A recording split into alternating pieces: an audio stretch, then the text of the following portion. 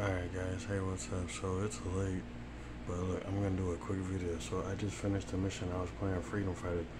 Now do y'all see Chris in the background just, he's just spinning in circles, do y'all see that?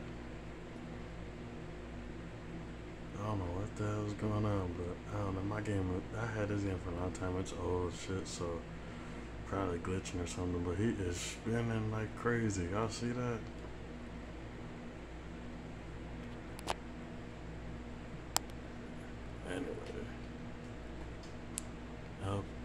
See you in the next video. Peace out, bye.